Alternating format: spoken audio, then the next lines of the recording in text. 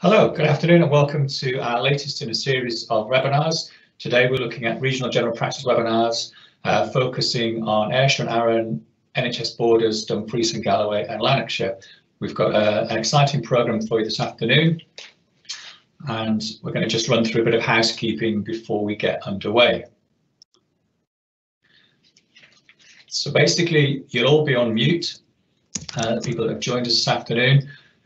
Um, we appreciate you joining uh, to spend some time with us today as it's very busy out there in uh, health and care land and we also appreciate our speakers taking the time to share their experiences today as well with us. Please use the Q&A section on the toolbar in your uh, Teams live event meeting. This will enable you to ask questions, make comments or share your use of Near Me or if you have answers to any questions that people have posed, please put those in as well. The session will be recorded today, so if um, you have colleagues that weren't able to come or you'd like to review some of the Q&A session or the content afterwards, you can do that. It'll be on our YouTube channel within a day or so. A lot of the links we're going to share in the chat and on the slides will be available in a resource sheet along with a summary of the Q&A at the end. Just to get people using the Q&A, it'd be great to hear um, what profession you're from and where you're um, joining us from today. It'd be super to get to know our audience a bit better uh, this afternoon. There are some accessibility options if you require them in, within Microsoft Teams live events where you can have subtitles. If you click on the three dots in your toolbar, you'll be able to add in subtitles and some settings in around those as well. Hopefully you'll be able to see and hear us clearly. If for some reason you do lose signal and it deteriorates, please leave the session and rejoin. Or find a machine or get nearer some better Wi-Fi signal. Alternative, you can directly connect to a network with an Ethernet cable, for example. That will help you uh, maintain good um, connection to us. So this afternoon, uh, my name is Mark Beswick. I'm the National Lead for the Me Network, and I'm joined by my colleague Rachel Burke today, who's the Technology Enabled Care Program Manager. Rachel's going to be monitoring the Q&A, answering some of your questions throughout, but she'll be collating the questions specifically aimed at our panelists this afternoon. We're delighted to have Dr. Scott Jamieson joining us today. He's the Executive Officer for Quality Improvement for the Royal College of General Practitioners and a GP himself in NHS Tayside. We'll also be joined by Pauline Brown, who's an ANP at Castle Douglas Medical Group in NHS Dumfries and Galloway, and also Dr. David Stevenson from Bankfield Medical Practice in NHS Ayrshire and Arran. Please do follow us on Twitter. We like to engage with our audiences and professionals on Twitter, so you can follow NHS at NHS near me or at Mark Beswick AHP myself. And also, if you like to put hashtags into your tweets around hashtag near me, GP near me, or health centre near me and that helps tie everything together. Uh, we're also helped by David Bath today. He is a producer from the National VC team, so he's going to keep everything running smoothly in the background.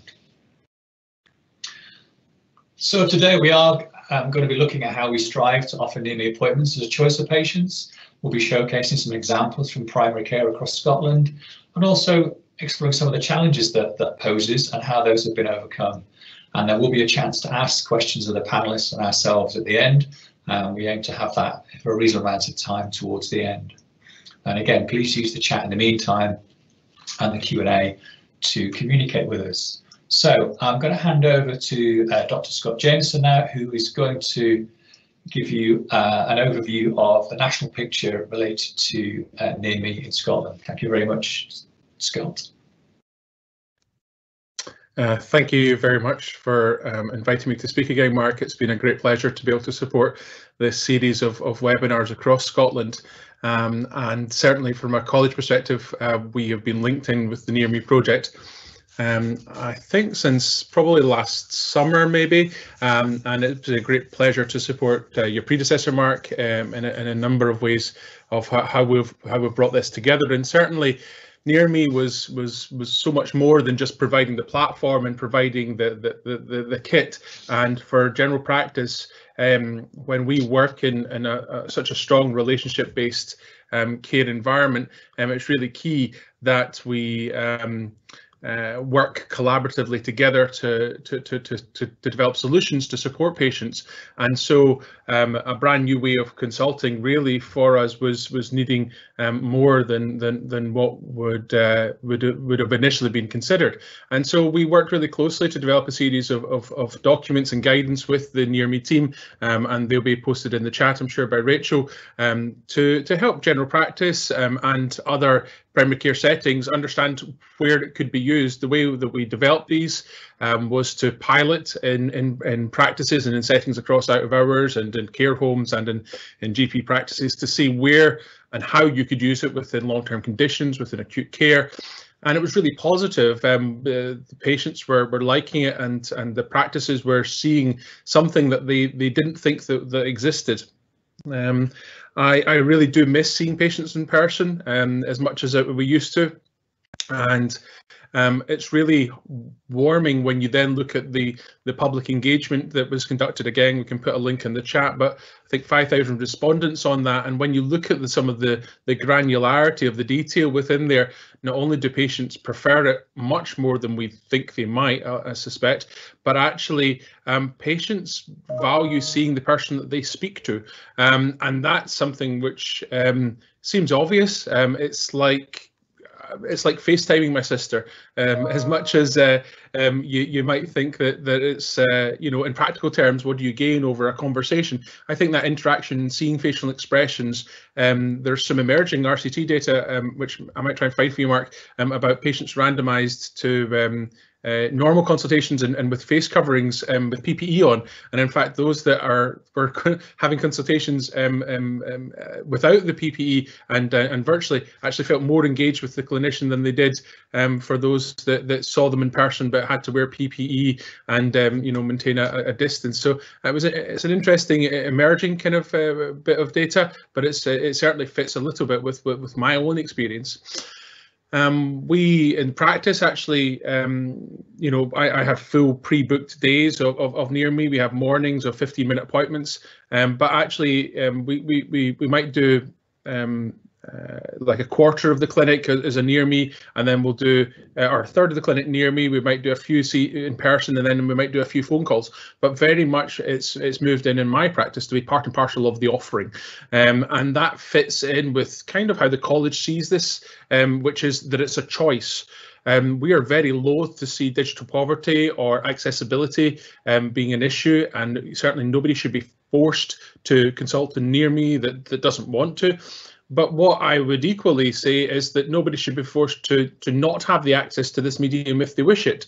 Um, be that now with 650,000 near me consultations and above um, completed, there are more and more people that are utilising this method when they're in outpatients, when they're um, contacting a flow hub through the, the, the new emergency department and uh, 111 access points, people are getting more and more used to this being a, a, way that they wish to interact with with with, with medical services.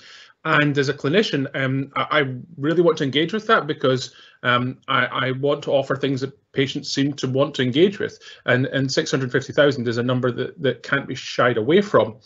Um, there is more to do, as I said. I think we need to make sure that those that can't access it in their own homes for IT or digital literacy issues are enabled to do so in community settings, um, be that if they have a tertiary centre, cardiology, you know, valve replacement clinic appointment on near me, they can go and do that somewhere, which is a setting for which has privacy and has access and support to let them have that clinic appointment. Because why should they be moved on to telephone um, if they don't want to travel 200 miles to see somebody in person. Um, so th there should be other things that we can do here to improve it, but um, we're really pleased to support this market. So it's a really good way to interact with your patients. It helps pre-planned care, 15 minute appointments and, and really nice to engage with patients in a different format, which I know and I can see from the public feedback that they, they do value. Thanks very much.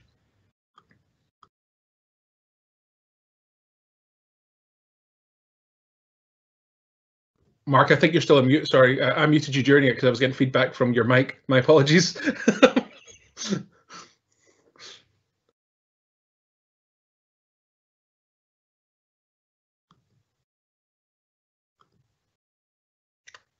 don't please don't There That's you okay. are. You're Apologies back. for that. I, I'm struggling. I'm struggling to move from my team settings through to the PowerPoint. So yeah, apologies for that, everybody. So yes, thank you, Scott, for um, summarising that for us and stressing that the importance of collaboration and choice for patients, collaboration between staff and choice of patients, and also equality of access again, which is something we're acutely aware of. Um, so what I'd like to do now, hopefully, is introduce um, Pauline Brown to you. Um, I'm going to just hopefully Pauline is here. Can I just confirm that with David?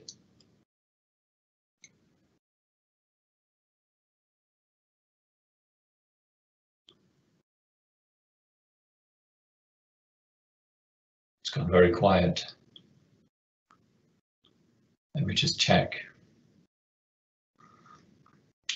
Okay, so it looks like we're having we're struggling to get uh, Pauline to join us on Teams. So what I'm going to do is I'm going to switch to uh, other presenter, Dr. David Stevenson. So I will just get his slides queued up and then over to you, David. Let me just put back on presenter view. Go to that. Okay. Are you good to go then, uh, David? How's that for you? Uh, yeah, that's absolutely fine. I'm good to go. I can't see any slides, it has to be said. Okay. I can see the Near Me Network front page slide. Okay. All right then. Let me just reshare that. Bear with me a minute, people. And we'll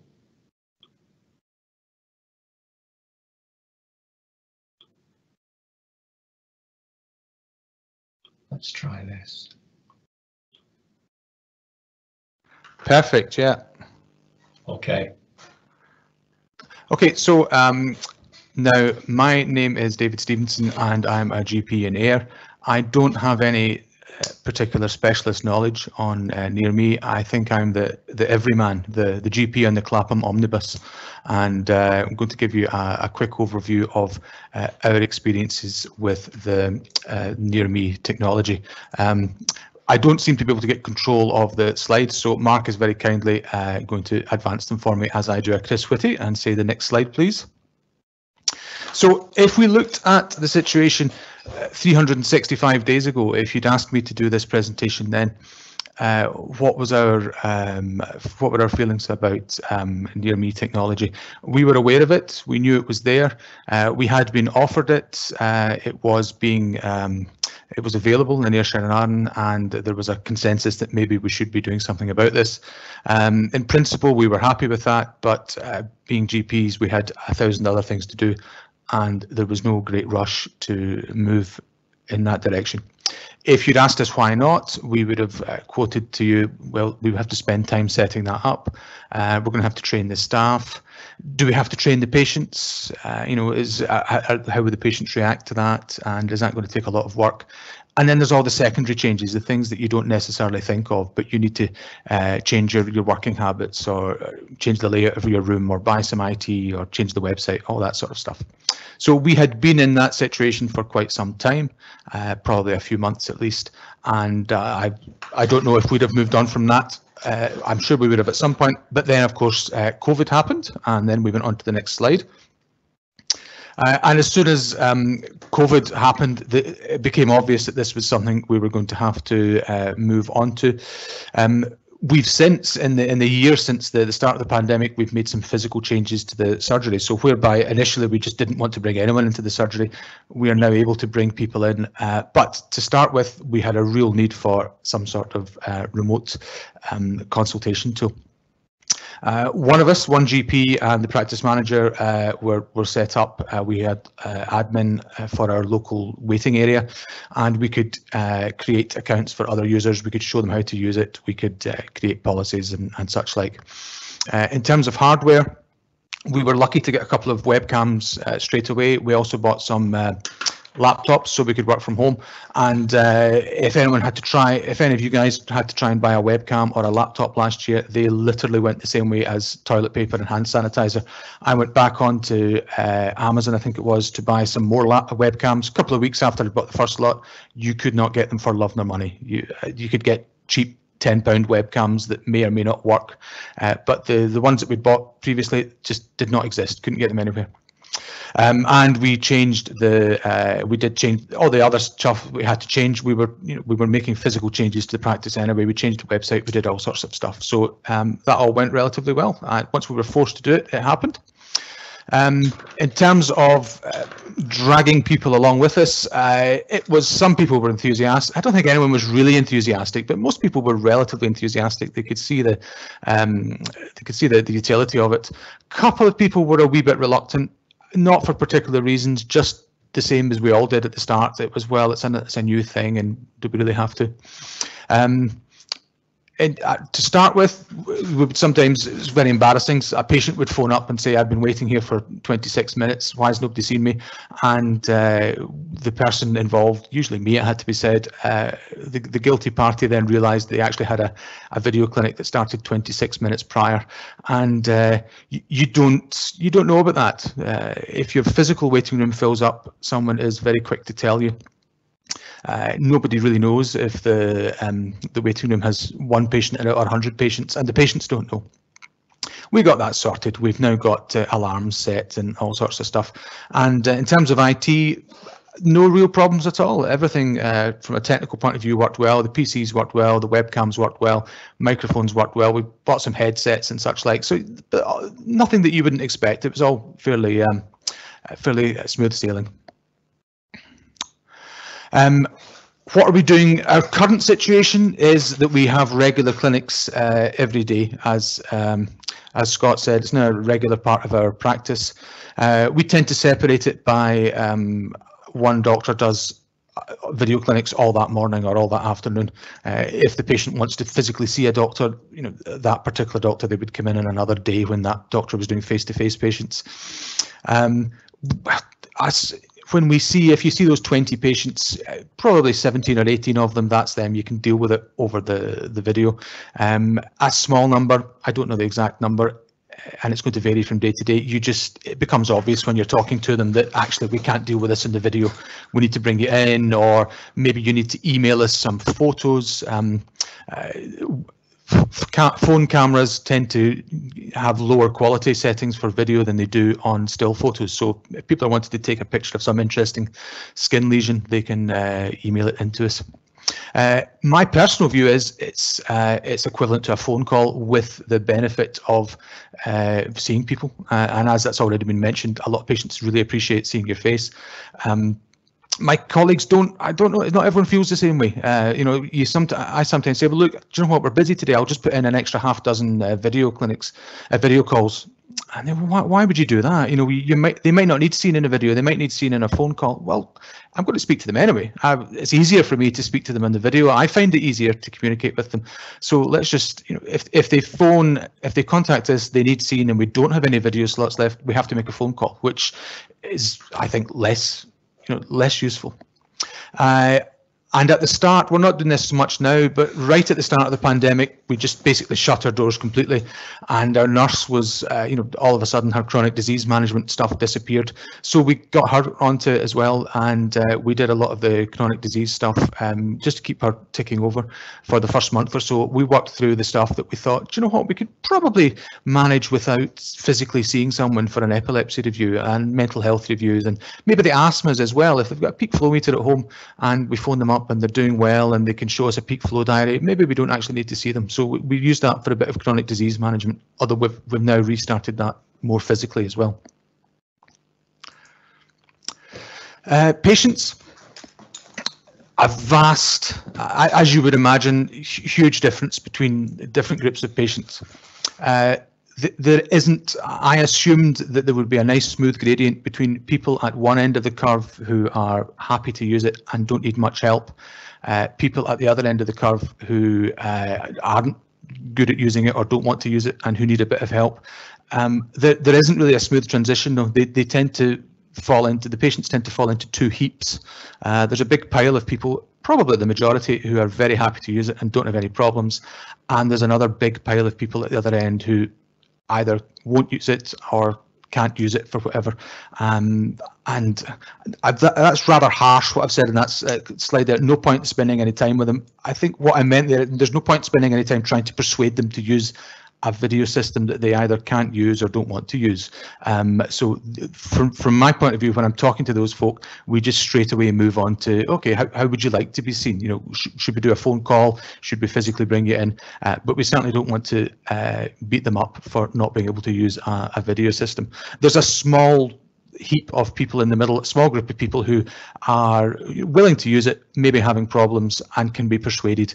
Uh, but uh, I, my experience, and I have to stress it's just anecdotal, is that patients tend to fall into one of the, the two extremes.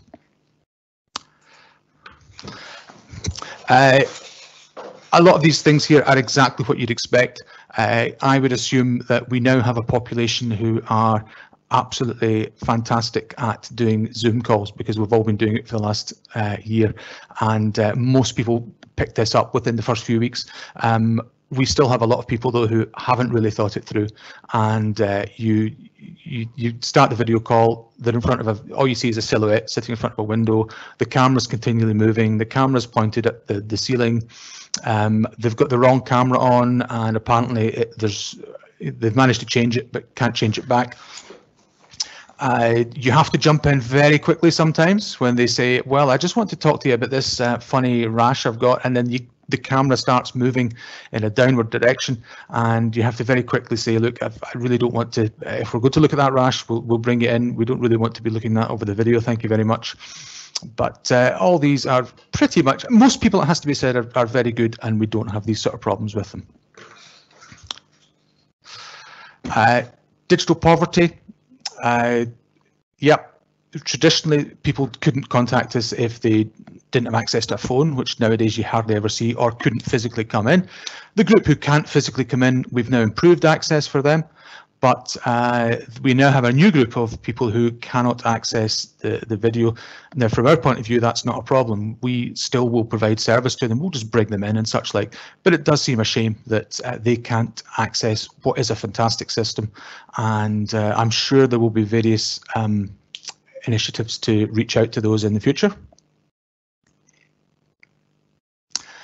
And the groups of people who don't do well is isn't who you would necessarily think. We have, uh, you know, people who, you know, as I say, 80s, 90 year olds who will quite cheerfully come along and uh, chat to you and they, they log on with no problems at all. You have pin sharp video, you can hear every word they say, and they use the camera perfectly appropriately and you have folk in their teens and 20s who apparently don't have any access to the internet and uh, and can't use it at all, at all. So it's it's absolutely there's no stereotyping here.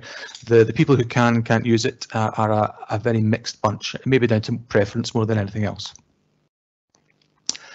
Um, how would we personally improve it? Um, if it works, it works beautifully and you don't notice it. It just works in the background and everything works well. If it doesn't work, we have no way of, of troubleshooting that whatsoever. And it'd be nice if we had something to do about that. Uh, next slide, please. Uh, communication, it would be nice to be able to uh, announce things to the whole waiting room. Possibly that's a feature that exists and I haven't found it yet. Uh, and there's not much you'll notice. My, my list of improvements isn't very big. And the last slide, I think, is uh, in terms of this has nothing to do with the attend anywhere um, software, but it's if we were to if I wanted to work at home, which in theory I can do if I'm doing a, a video clinic, uh, the the other leg, the the back channel doesn't tend to work as well. It's a different system we're using. We're trying to access our clinical systems remotely. Um, we can't print prescriptions. We can't um, view various documents. There are tons of things that don't work. And I'm quite certain that in a couple of years' time, that will all be iron, ironed out. But at the moment, it's a kind of hodgepodge of various different systems we're using. When we use it in the surgery, though, it works extremely well, and I would recommend it to anyone. Yeah, very positive experience. And as I say, the list of hiccups is very, very small. So it's, it's, it's if you're if you're toying with the idea of going for it, then go for it. I think that's me, Mark.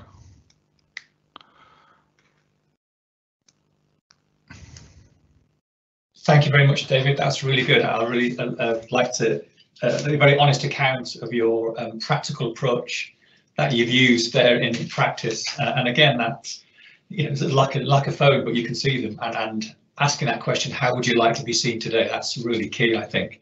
And um, and again, the, the, the assumptions that have been challenged by which types of patients we think will or won't um, be able to use near me or not has, has been um, has been you know really quite enlightening, I think, for for professionals. Um, and I'm uh, very relieved to see uh, Pauline there, I think, in the background. So that's super to see Pauline. Thank you for we've managed to get you in eventually. That's super. Right. So what I'm going to do is I'm going to uh, go back to Pauline's slides and we'll hopefully queue her up. So I'm going to just so actually we just had an introductory slide for Pauline, so I'll just pull that up now. And let me just get this back up. So I'll hand over to you, Pauline. Thank you very much. I'm going to just mute myself because I'm struggling yeah. to move between my screen and yours. So thank you. Thank you. Good afternoon, everybody. I do apologise. Down in Dumfries and Galloway had some major IT uh, um, problems and apologise. I missed all the introductions. So I just want to say thanks to Mark for inviting me. Um, so who am I? I'm Pauline Brown. I work as an advanced nurse practitioner in a rural practice in Castle Douglas, uh, famous for the Galloway Belties, unlike Dr. Jamieson up in the Kirriemuir uh, gingerbreads up there. The, um, the um, I have worked here in for the last 45 years and we our local hospital is 26 miles away. So my role is involved in uh, doing um, lots of triage in the morning. Previous to that, was a health visitor, a district nurse and midwife. So it took a COVID pandemic to actually start to get us to use NHS Attend Anywhere and our understanding of is to an aim to improve health and social care. And I have to say it's it's um, been an absolute change of mindset between us all. We are a training practice um, and it's been a case of gaining confidence in using the system. And uh, I'd just like to use some examples of way back in the beginning last last um, February when we, we, we sorry March when we started using it. Um, so if you forgive me for a minute, just because I had some IT skills. Yeah, it, so so the daily triage would be routinely um, through from the receptionist into into us, and it could be very varying from chest, rash, pneumonia, anything anything like that, or we could have something with somebody funnily had a problem down below well, the problem wasn't really down below in the vagina, it was the neighbour down below. Our husband had been having a little dalliance with the neighbour down below, so we did need to go down below. Um, but for for me, it's about um, really making making a difference to our patients in the, the rural areas. Uh, as with all, probably, I'm sorry, I missed what you said already. The the elderly, it is a barrier. They struggle to use the IT, and our connection, as we've just demonstrated, has been extremely poor. So we have problems with IT. Um, we we uh, would would never replace face to face, but it has been invaluable in connecting with our patients. And I don't know what everybody else finds, but certainly when the patient does connect with us, they almost relax straight away, seeing our faces as though we're actually in in the patient's home and we're able to to really connect with them. Um, and forgive me, I'm just trying to find some of my examples, but I can't get to my phone. Um, yeah. We've also increased the use of it using our the practice nurses so for the chronic disease management. And we had a funny patient the other day at the the practice nurse was trying to take the history of it. Do you when they had respiratory problems and do you have asthma? No but my neighbor Jimmy next door has it. So that was really useful. Um the the, the um sorry the, the next thing um would be i think looking back chatting to Grace Bell, our director, assistant director, was saying that in Dumfries and Galloway we were quite early adopters uh, of the system. As mentioned, it took a COVID pandemic for us to start to use it. Not because of any fear, it's just we had never been used to using it. So now we use it on a daily basis and it's about, for me, stepping back and just taking time on that daily triage. We have in our template specific slots for uh, video consultations throughout the day, but now more and more on our daily triage, we say we have somebody phoning in, then we would just either, rather than sending pictures in, which isn't so good, or we do, there's time, place for that as well, but we would often phone, get the patient to phone back. And as I was chatting to Mark the other day, uh, we find that the IT and the technology has improved. So by instead of having to say to the patient, please type in this uh, this website and this number by just clicking onto the the uh, onto the actual uh, putting the sharing the text number, then that's made it so much easier. Um, so so you know all these things take time because obviously we've all been under huge pressure with the COVID and our triage list could be, we have about 7,000 patients, um, so our triage list could be pretty long, we could have about 40, 50, 60, 70 um, sometimes uh, to, to get through, but the secret I think is taking the time just reassuring the patient and the family uh, that actually, um, you know, this will work. We'll, we'll, you'll, we'll phone us back in, link in, and we can see and take a better history. It can never replace that hands-on um, clinical examination. And right at the beginning, I did have a, a young girl who had phoned, had come in and we did a video consultation and uh, she had a bit of a parotid, small parotid, almost tonsillar swelling, but um, spoke to my GP colleague. We had a look at it, thought, no, it doesn't look anything sinister. But I, and I always qualify it by saying worsening advice, phone back. Um, but but um, and I did actually put her in my, my triage slot the following week, by which point the swelling had grown considerably. So I did bring her in, and in fact she had a cancer. So for me, I felt quite annoyed at myself because I think I had examined the patient the week before, although obviously things evolve. Um, but another example of a positive thing was we have a, a, young boy who's who's very handicapped. He was a birth asphyxia in his 20s, and it was at the time when let's face it, we were all petrified about COVID last March, and there was a reticence to go and visit uh, in the home but um, we were able to do a video consultation and see this this young boy who's got horrendous scoliosis. I could visualize that his breathing was quite laboured. He wasn't in acute distress, but um, rather than have to go and do a home visit, to save time, we I was able to phone the hub at that point. Was it changed now? It's a smoother pathway.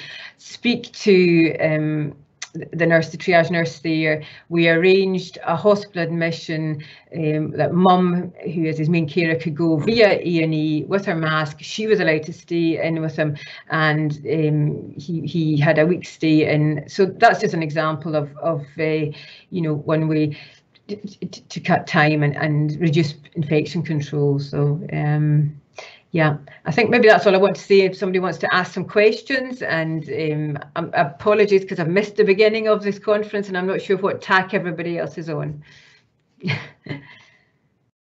that's okay, Pauline. Thank you very much for that. Now that's that's really helpful to to to hear how uh, person-centered it's been where you've been working. I think particularly around people being relaxed and reassured and, and taking the time to to do that. Um, and again, be honest about you know when when when things don't quite go how you expect, and, and that message about if things worsen, get back in touch, and we'll have another consultation. So then that's a really key thing to take home because yes. yeah, things do develop and things do look differently uh, as time progresses. Um, and again, that, that use of near me to linking with colleagues for other opinions to help that family, you know, access those services. So you know, lots of diverse uses for uh, for near me. So um, what I've like to do now is uh, just pass over to, to Rachel, who's who's been monitoring the uh, the Q and A and, and theming some things for us. So, um, what sort of questions are, are coming up, Rachel?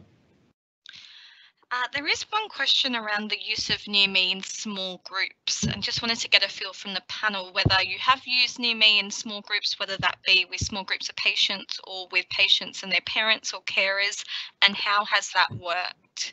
Uh, Scott, we'll start off with you.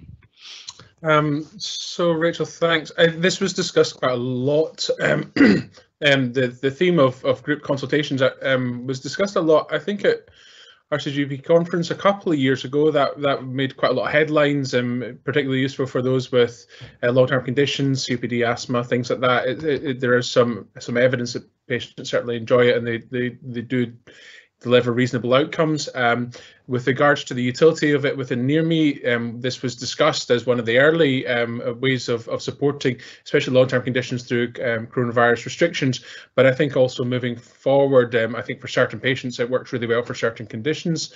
Um, I think the limit currently on number of, of, of, attendees at once, I think is five or six. Um, Rachel, you'll be able to correct me there. with regards to uh, the one thing I would highlight actually is the utility for multiple attendees for trainer, trainee. I'm a GP trainer. Um, so whilst my trainee is doing near me consultations, um, um, which um, one of them um, in fact, she's, she's she's very capable and didn't actually call me in that much. Um, um, but um, the, the the more junior ones did. Um, she was she was pregnant and in her third trimester, and she was seeing most of the patients by near me.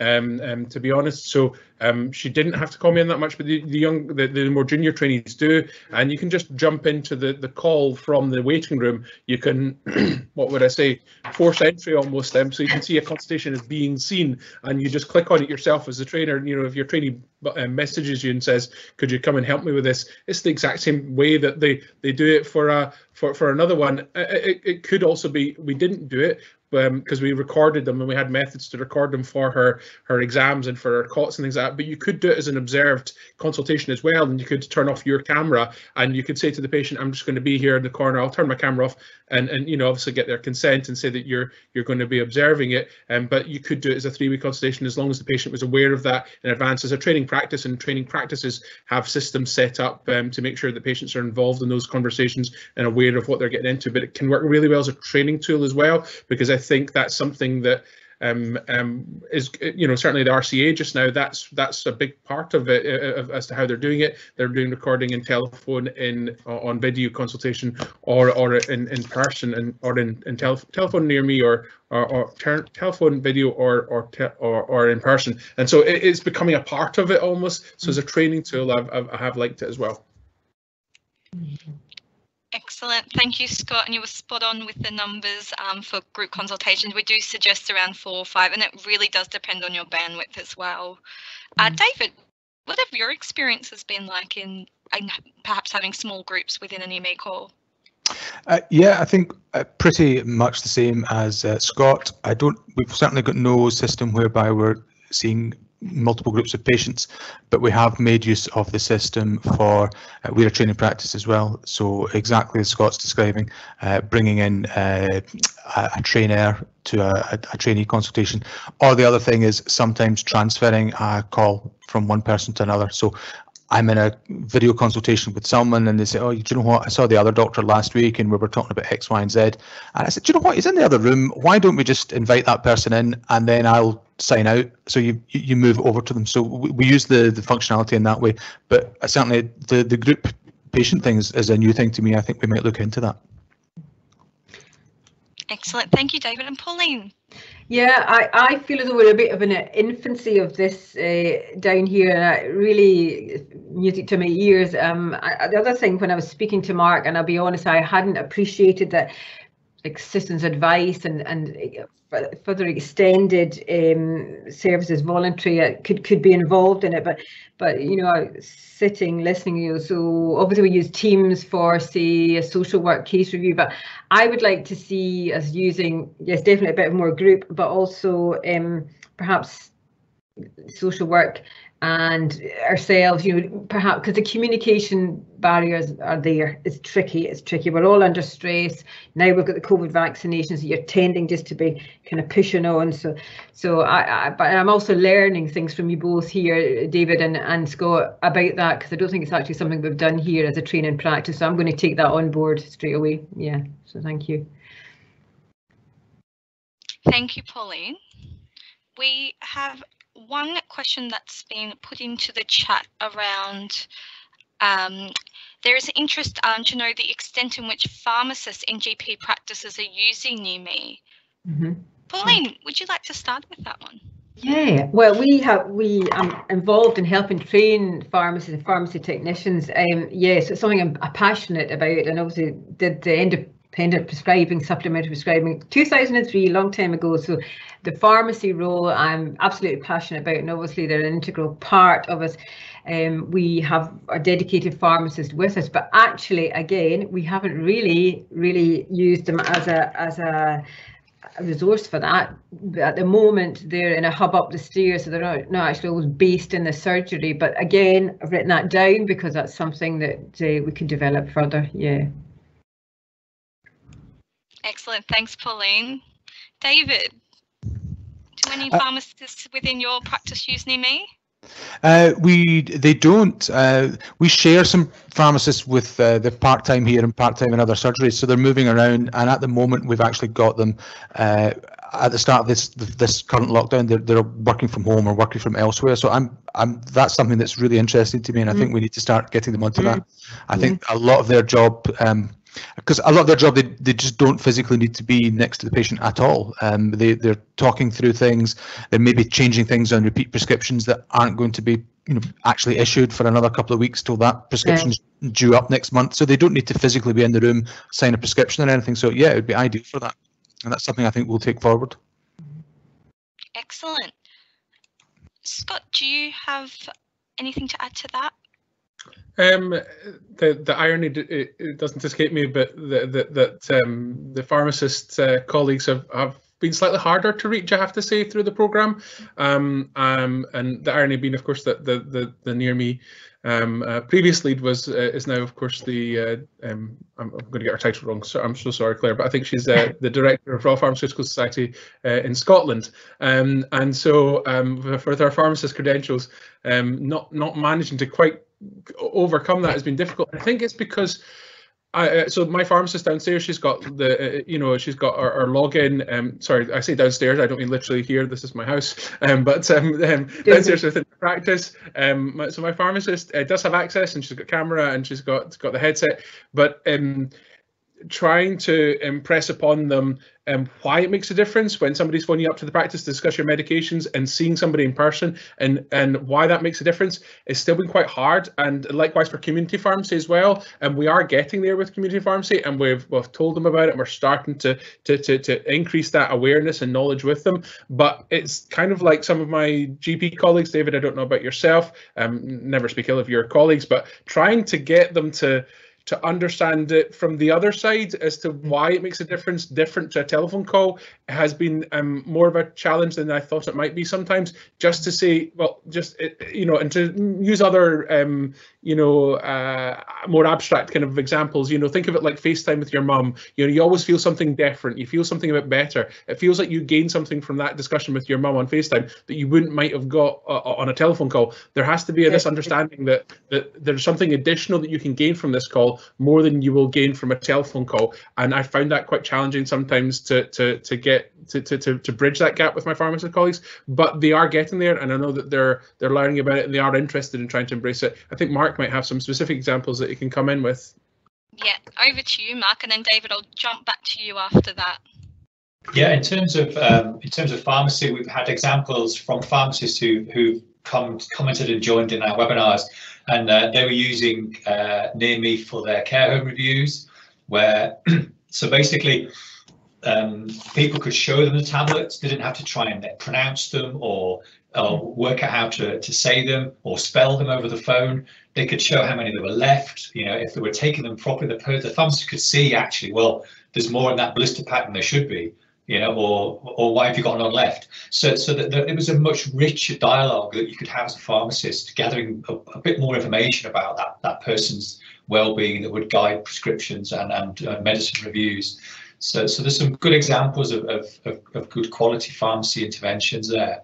Um, and, and also want to just pick up on groups as well. So as part of the NearMe network, we are doing some some targeted work at the minute on um, using digital platforms for groups and developing guidance and good practice. So um, we are hopeful that at some point we will have a unified platform in Scotland that will be suitable for groups up to 30 people.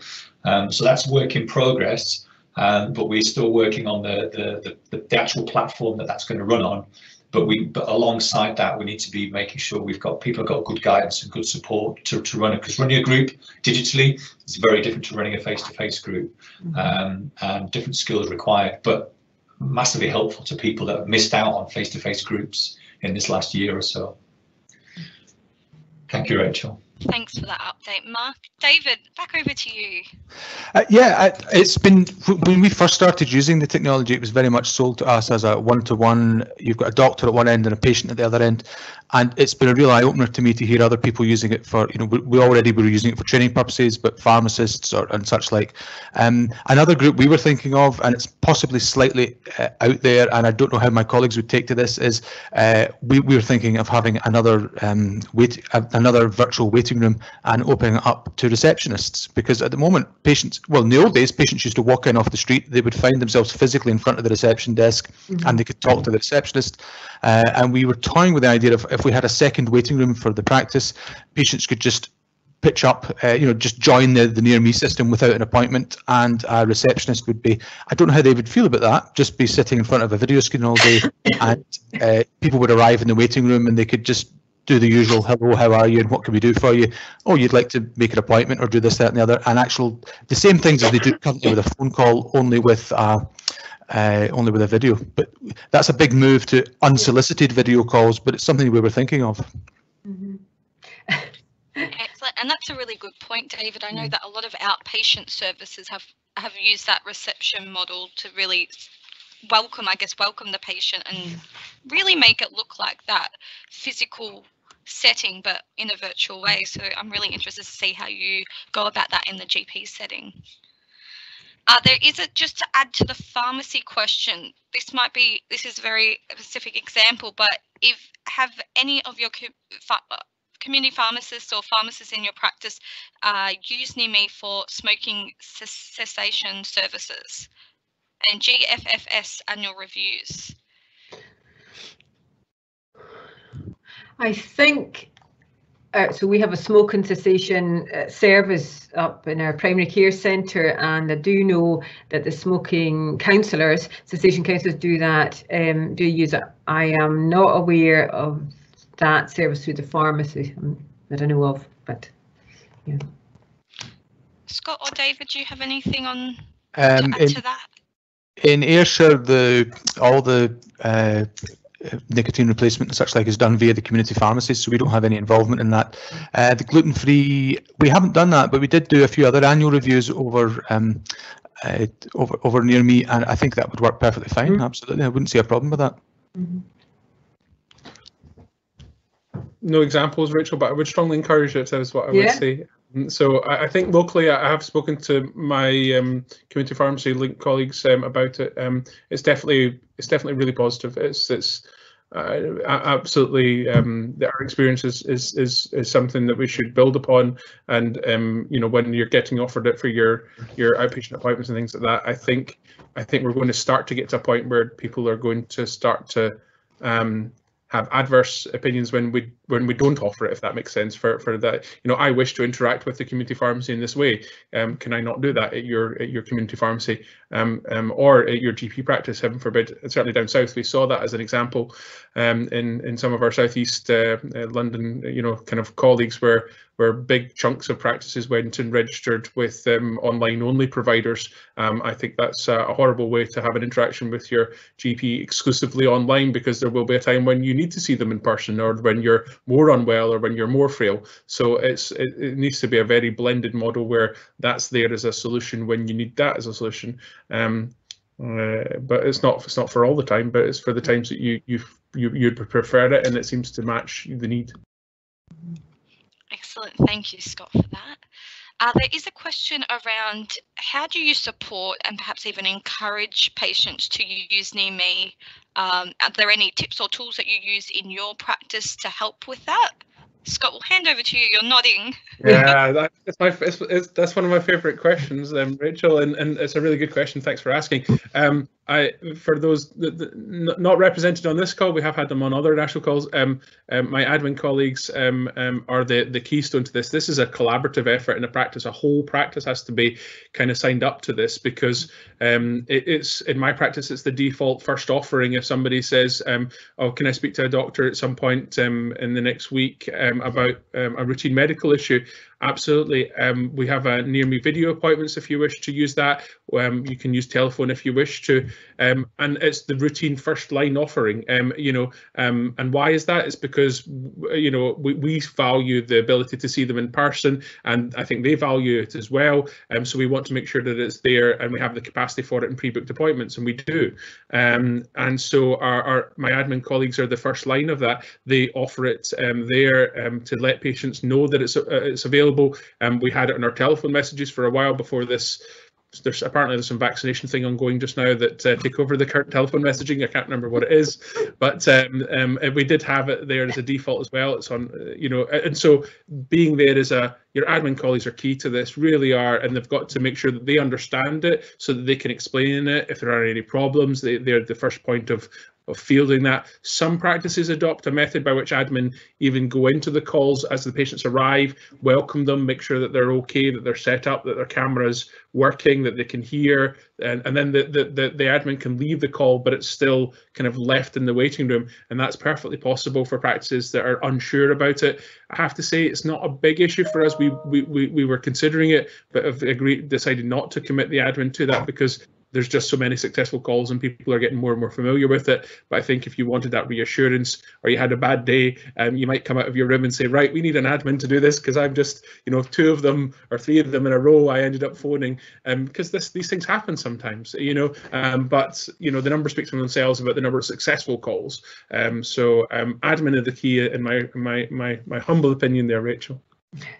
Thank you, Scott. No, that's a really great advice to get the admin team involved. We've mm. learnt from some other practices that having the admin team do some test calls with patients prior to the appointment can also be really useful maybe when they start when they book that appointment just to know that their system and their technology is working and it also builds their confidence uh, pauline i'll hand over to you on the tips yeah thank you yeah i, I just again interesting to hear everybody's um, thoughts. And i often think about sort of almost the inequality of the, the elderly or the patients who don't have a smartphone or an iphone. These are often the ones who really could benefit. You know so we have a 25 mile ra round radius of, of practice uh, and boundaries and a lot of them are elderly and unless i'm missing a trick here there is no way to get do the video consultation on a landline am i right? Is is that yeah I'm not crazy. So is that something that's been looked at or is that really a huge problem to fix?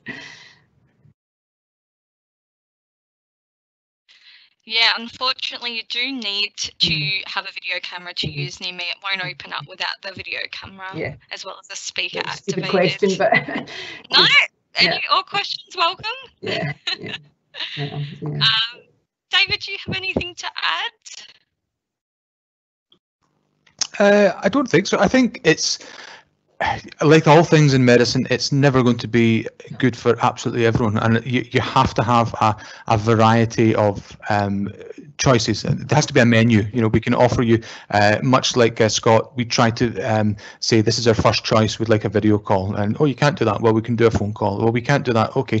Well, and I guess you know, there's we could bring you in, or we could visit you, and that there has to be a menu, and hopefully for every single person. Then some people would be suitable for two or three different modalities there will always be people who can only do one particular thing, uh, whether that's their you know, by choice or but not not by choice. There will always be such people, and as long as we have a, a, as long as we have some way of dealing with it, better. But I would thoroughly agree if we can encourage people to um, to, and I think as well that, that society in general over the last year has moved towards you know lots of people are doing video conferencing that never used to. I suspect a large part of that problem will take care of itself. But yeah, we do need to reach out to these people. Yes. Thank you. And I think that's all the questions for today. So I'll hand back over to you, Mark. Okay, thank you. And again, just to pick on a couple of themes around, you know, uh, very acutely aware of the, the impacts of digital poverty and, and, and connecting Scotland are looking to try and narrow that gap so there are so that people who are hard to reach have got access to either a device or broadband or they can make their way to somewhere where they could, whether that's a community centre or a library or uh, their, their GP practice, you know. So there's, but it is, it's not, it's not. There's always going to be people that are going to be, you know, on the very outer limits of, of connectivity uh, and trying to um, uh, uh, connect with those people. I would also just share what one of our other practices shared in one of the other webinars was where they they supported their admin and reception staff with some fairly um, clear scripting to help them dif- differentiate between what what would be a good type of patient need that would lend itself to a phone call versus a video call versus a face-to-face. And, and I think that reassured and gave the admin and, and reception staff some confidence in, in, in filtering out, you know, who can we schedule in for face-to-face, so who would be better for a video or a telephone call. So, and again, that's something I think that Rachel and I were keen to kind of look into a bit further and see how we could support, you know, primary care. Because as, as everyone has said, it's very much a team approach, it's a collaborative effort and um, across the whole practice. So uh, what I would like to do is I have just going to put into the Q&A, uh, hang on a sec, a wee link to a survey that we'd be very grateful if you could fill in based on your experience of the webinar today, but also finding out a little bit more about how we could support you in your future use of Near Me as a network. So it's only five questions long, it takes about a minute and a half to complete. So it'd be great if we could uh, get some feedback on that. What I'm going to do for fear of, of not being able to see the slides and what's going on in the, in the thing, I would ask Rachel if you could put the um, nearme.scot links for the and the text site links into the the Q and A chat as well. Would that be okay? And what we'll do is we'll make sure all of this is contained in the resource pack that you receive uh, following this webinar. Um, so I suppose what what all we need to do now really is just to thank you for joining us this afternoon in your busy schedules. Thank our speakers for taking the time out of their schedules to share the valuable work they're doing and, and how they're, they're trailblazing the use of Near Me and hopefully um, give other people some inspiration and some support about how to um, embed it and roll it out where they work. Uh, and again, it's been great to hear about the variety of use across primary care and also the, the, the, breadth of interactions that, that have been had with patients accessing primary care to meet their needs. So, um, so yes, there'll be in the chat, there'll be some information on the websites that we have and um, you'll get a video recording link for today's session uh, in the next couple of days.